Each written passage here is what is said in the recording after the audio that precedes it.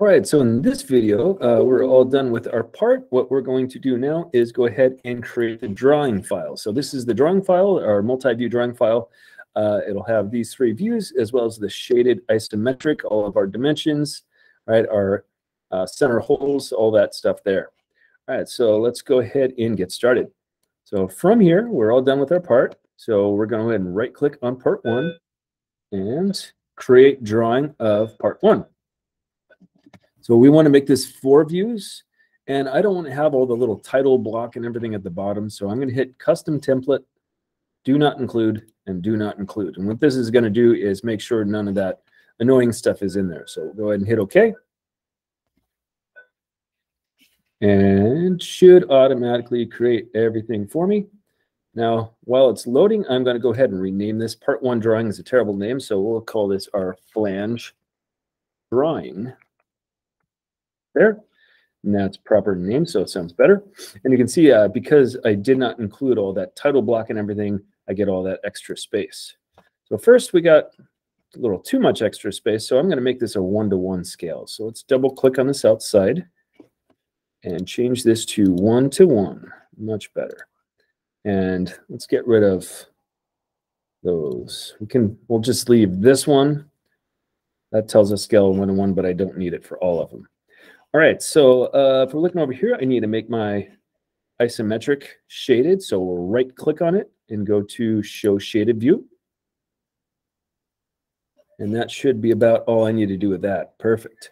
All right, so next thing I want to do is go ahead and get my hidden lines and the center lines on these two pieces. So for the hidden lines, it's easy. Just right click, show hidden lines, right click, hidden lines. And because these are circles, I'm going to go ahead and put center lines in. So the type of center line we want is the edge to edge center line. So yours might be in a, a little drop down, um, but that's our edge to edge center line. And what we want to do is, so if we look at it, this kind of lines up with here. So this hidden line is actually this edge right here, that left side. So we want to get our center lines for this. So click there and there. Okay, and we'll get center lines for these two. And then on here. And again, we're using this right side because this edge right here is the side of that. And we'll do the same thing for over here. So we get the top, middle, and the bottom. So that one lines up with here. That one lines up with here. Good. So that should be all of our center lines and hidden lines. Good. It is.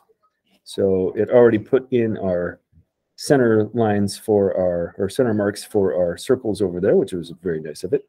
So we just need to get some dimensions. So let's get our dimension tool and let's see, we need all three of our circles. So I'll go ahead and get, uh, look on that line and over here, that's 0.25.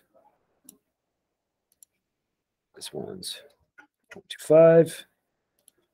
This one's 0.25. Just kind of organize them so they kind of look nice. You don't want it to look too sloppy.